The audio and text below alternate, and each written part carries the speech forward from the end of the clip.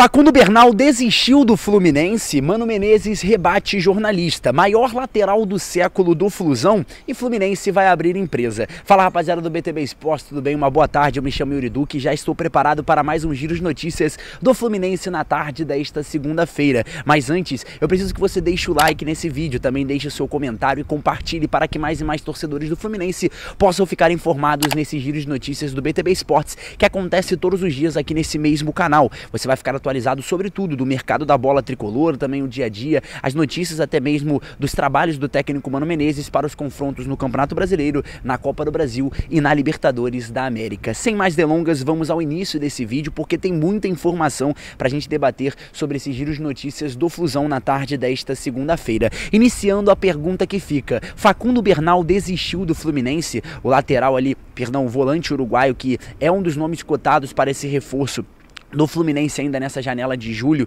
barra agosto está aí demorando para ser oficializado pelo tricolor das Laranjeiras. Eu vou explicar tudo para você do que está acontecendo. De início, na última segunda-feira eu já havia noticiado que o Fluminense teve um acordo com o Facundo Bernal. Esse acordo existe, tá? Essa notícia veio em primeira mão do BTB Esportes, é, de fontes internas do Fluminense. Esse acordo existe. O problema entre o Facundo Bernal, a staff do jogador, é claro, e a diretoria do Fluminense hoje é a forma de pagamento. Trazendo trazendo todo esse embate, tudo que está acontecendo nessa última semana desse giro de notícias do tricolor, o Fluminense planeja pagar aí cerca de 3,6 milhões de dólares, ali é basicamente 20 milhões de reais, em parcelas que terminariam apenas em 2027. Essa foi a primeira proposta da diretoria tricolor para contar com Facundo Bernal. O problema é que isso não agradou a equipe do jogador uruguaio e também a staff da, do, do jogador queria ali um prazo menor, aceitaria até diminuir o valor de repente que o Bernal é, receberia nessa transferência para diminuir ali o prazo de pagamento,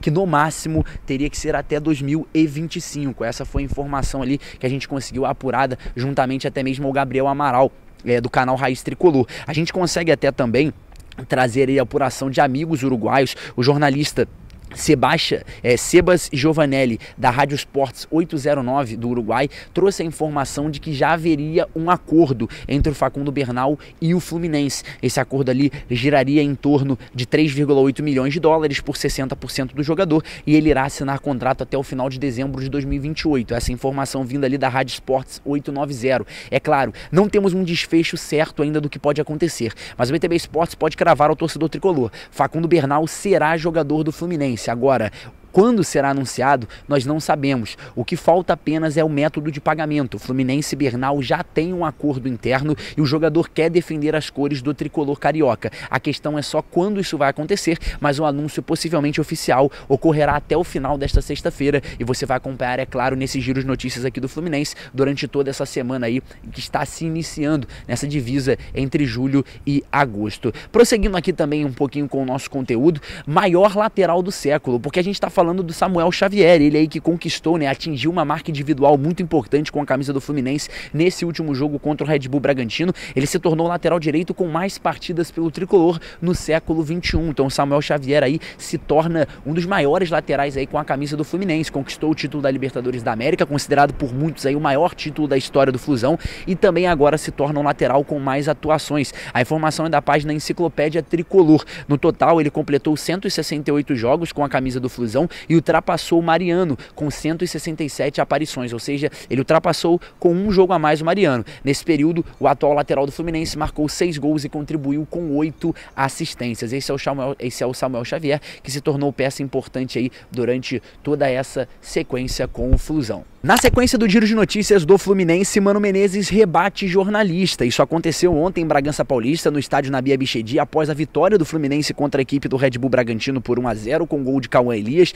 O Mano Menezes deu ali uma coletiva de imprensa ao término do jogo, inclusive falou ali qual é o âmbito do Fluminense ainda nesse Campeonato Brasileiro, sonha e almeja com coisas mais altas e, é claro, respeitando também o Campeonato Brasileiro, respeitando a Copa do Brasil, respeitando a Libertadores e dando a devida importância para cada competição. Mas o Mano Menezes, ele rebate o jornalista ali porque durante uma pergunta o jornalista se confunde e fala pro Mano Menezes que ele alcançou aí mais um objetivo com a camisa do Flamengo. E aí o Mano Menezes pergunta na hora quem? Aí ele se corrige, é claro, fala Fluminense e o Mano Menezes solta a seguinte aspas: pode falar qualquer coisa menos isso. Eu preparei esse trecho aqui na sequência do vídeo, você vai poder acompanhar aí essa rebatida do Mano Menezes para cima do jornalista lá no Nabi Abichedi. Se liga só. É, boa tarde, mano. Eu queria saber de você, né, em pouco tempo já à frente do, do, do Flamengo, como está sendo o trabalho ah, do Fluminense, desculpa. concorrente não, hein? Podemos é, errar é, muita coisa, menos isso.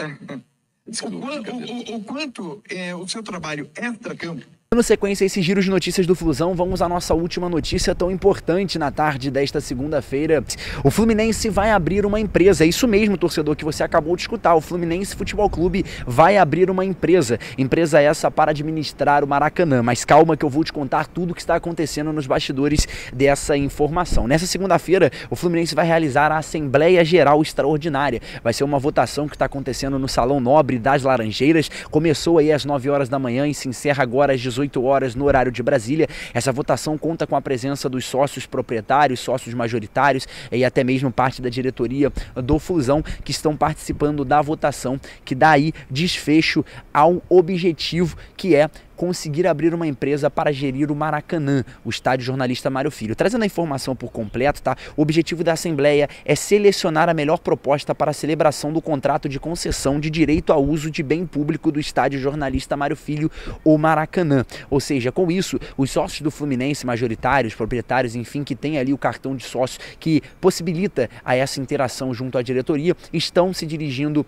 às Laranjeiras, no Salão Nobre, para poder realizar a sua votação nessa Assembleia Extraordinária extraordinária, que é para saber ali quem irá gerir junto com o Fluminense, é claro, a melhor proposta para gerir o Maracanã. Isso porque é, o Fluminense ele vai abrir uma empresa com o Flamengo. É isso mesmo que você está entendendo. Dois rivais abrindo uma empresa junto para concessão e administração do estádio. É exatamente isso que você viu, torcedor do Flusão. Inclusive o nome da empresa vai se chamar Fla-Flu SA, Sociedade Anônima, onde vão cuidar ali de toda a gestão do Maracanã. A gente está falando de tudo, tá, torcedor? É a parte ali de alimentação, de limpeza de banheiros, limpeza de cadeiras, toda a infraestrutura, reparação do gramado, reparação de luzes, tem toda ali uma logística, até mesmo nas catracas, acesso à entrada, as empresas terceirizadas que vão cuidar do Maracanã, tudo isso vai ser modificado junto a essa empresa Fla-Flu SA, que será a empresa que vai cuidar agora dos direitos do Maracanã, é claro, com representantes tanto de Flamengo, tanto de Fluminense. Então, para você, torcedor do Flusão, que ainda vai assistir esse vídeo até às 18 horas, você pode se dirigir ali, é claro, você que é sócio, para o Salão Nobre das Laranjeiras para realizar a sua votação a favor ou contra da melhor proposta para a criação dessa empresa, que vai unir unir aí os dois rivais em prol da melhora do Fluminense. Fluminense, é claro, que vai a cada dia mais tentando se reparar não só no Campeonato Brasileiro, mas também internamente, fazendo ali, é claro, toda essa limpeza e gestão nesse momento complicado que vive ali. É, passou o comando do técnico Fernando Diniz, agora a mudança de chave para o técnico Mano Menezes, uma melhora exposta nesse elenco do Fluminense, não só dentro de campo, mas também fora de campo. A janela de transferência do Fluminense se mantém ativa, tá, torcedor? Só fazendo aqui um giro muito rápido, falando um pouquinho sobre o John Kennedy, esfriou um pouquinho, tá, essa transferência dele pro Toluca, isso porque o jogador hoje se torna a terceira opção do técnico Mano Menezes, já que na frente tem Germancano e também o Cauã Elias, que se torna peça muito importante, e o Toluca ali continua tentando insistir, instigando o jogador a vir para o futebol mexicano, o John Kennedy aguarda, é claro, e prioriza ali a melhor proposta, não só para o Fluminense, mas também para a sua carreira, mas o que a gente tem hoje de informação no BTB Esportes é que o John Kennedy aceitou ouvir o Toluca